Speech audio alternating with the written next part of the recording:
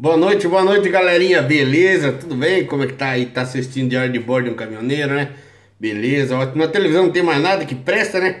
Então, pois é, eu fazendo esse vídeo aí para mostrar para vocês, falar um pouquinho é, de como surgiu esse negócio de frase para-choque de caminhão, esses desenhos, essas pinturas em carroceria de caminhão, ônibus na estrada. Olha, fiz uma breve pesquisa aí, porque perguntaram para mim esses dias aí como é que surgiu e tal e fiz um resuminho. Olha, isso aí surgiu é, basicamente no, na década de 50, né, nos anos 50 aí na Argentina, por aqueles filetadores, né, o pessoal que fazia grafite na, na, nas carroças do século 19, mais ou menos, que eles tinham essa mania de fazer esses desenhos nas carrocerias.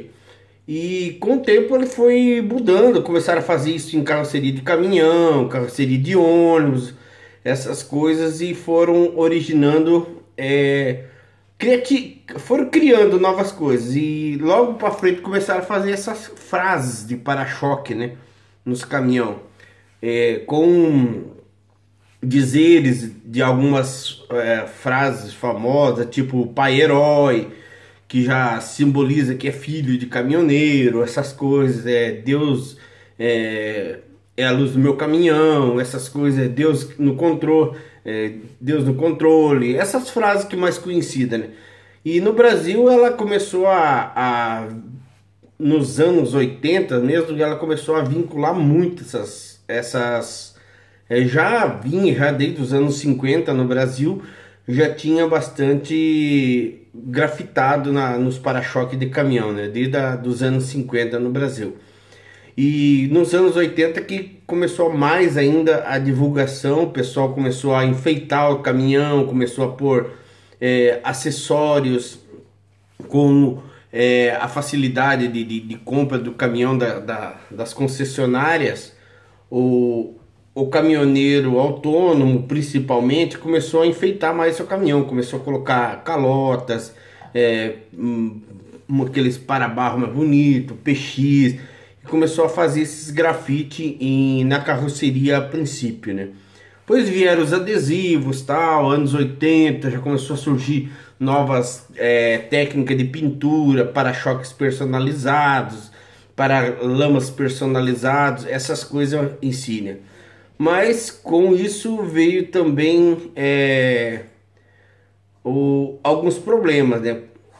Antes disso, eu quero falar para vocês que também tinha, né, o pessoal, a galera noturna, né, que do rapidão, que montava suas próprias tribos, né, suas frases de tribo, que era o pessoal que trabalhavam com cargas horárias, cargas de noturna, né, verdura, peixe, perecíveis, etc.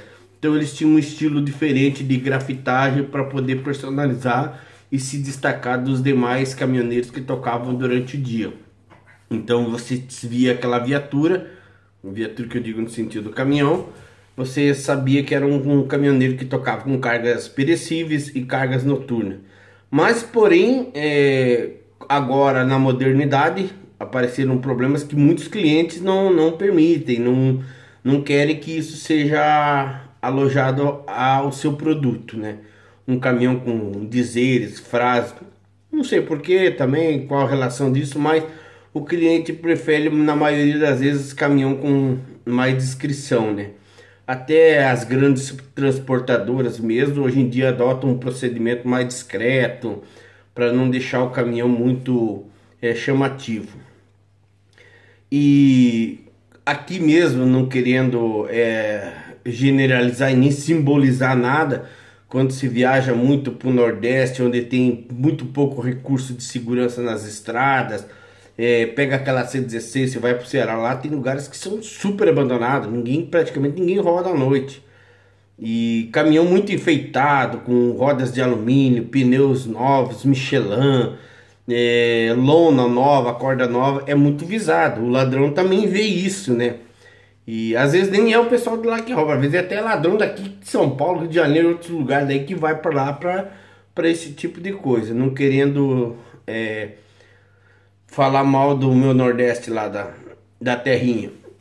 Então tem muita gente que para lá no Nordeste é, usa ali mesmo Maceió, Itabaiana, Sergipe, Aracaju, Feira de Santana, você pode notar, ninguém procura andar muito enfeitado com o caminhão não, viu? O pessoal procura mais descrição, até tem um vídeo, eu vou colocar aqui no finalzinho, você vai olhar aqui em cima aqui, vai ficar uma bolinha aqui assim, ó, bem aqui.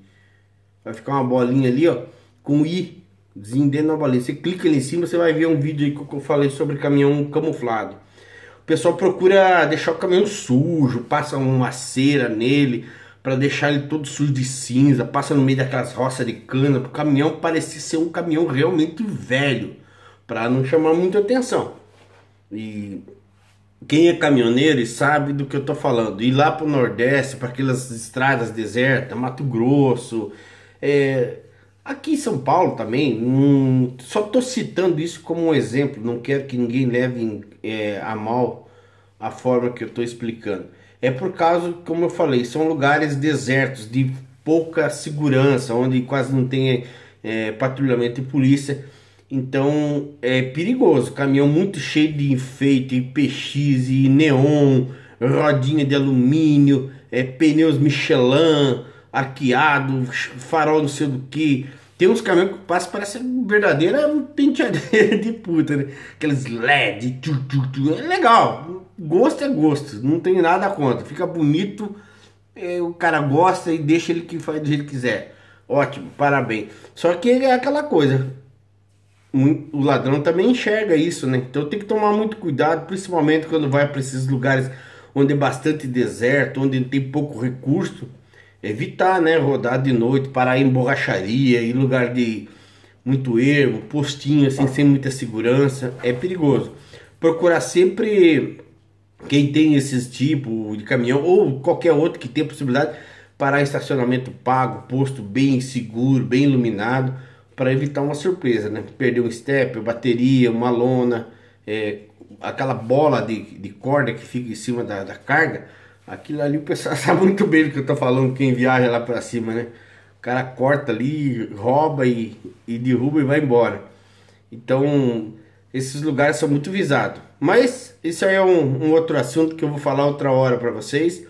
Eu mais estava falando sobre grafitagem e frase de para-choque de caminhão que é mais ou menos que deu essa origem aí e surgiu esses modelos, esses nomes aí. Essa fonte é buscada no site Mundo Estranho e às vezes pode ter alguma divergência, não é fonte minha, é consulta e fica a critério de cada um é, fazer relevar o que eu tô falando. E cuidado, essas estradas aí, muito deserto, caminhão muito luminoso, muito brilhoso, chama atenção. O bandido também enxerga. Pode notar. Quem viaja pro Nordeste sabe do que eu tô falando. Que 1620, esse caminhão lá de Itabaiana, lá, que acho que lá é a capital do 1620. O pessoal anda tudo sujo. Passa até uma cera, uma, um barro ali, no meio daquelas roças de cana queimada lá, que agora não queima mais, mas tinha.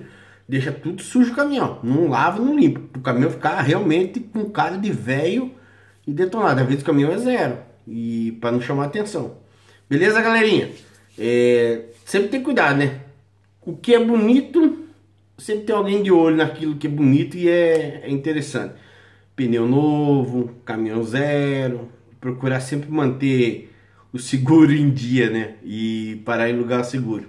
Quando vai o caminhão e tiver o seguro, tudo bem, né? O problema é quando o cara leva mais alguma coisa. E alguma, essa falando aí que eu não sei se eu falei, tem transportadora que também prefere o caminhão liso, discreto, sem muito adesivo, sem muito nome, sem muita coisa errada toda. E cliente também, tem cliente que não gosta de caminhão cheio de enfeite, de parafernália, chamando muita atenção. O mais discreto possível. Às vezes o cara perde de embarcar uma carga porque o caminhão dele está muito cheio. Eu nunca vi particularmente, mas às vezes perde, tem cliente que não, não aceita isso não.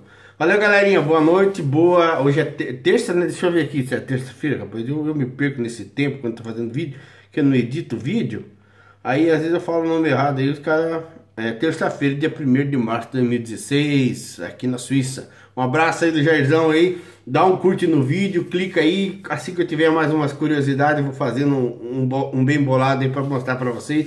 E respondendo algumas coisas que o pessoal ah, pede sempre pra gente passar aí pra vocês. Curte o vídeo, compartilha, se inscreva no canal para receber sempre quando tiver um videozinho novo ali. E isso é o que motiva a gente fazer vídeo. Boa noite para vocês. Tudo de bom? Boa terça. Amanhã é outro dia, em quarta-feira. Vamos trabalhar. Vamos lá aí. Um abraço, galera.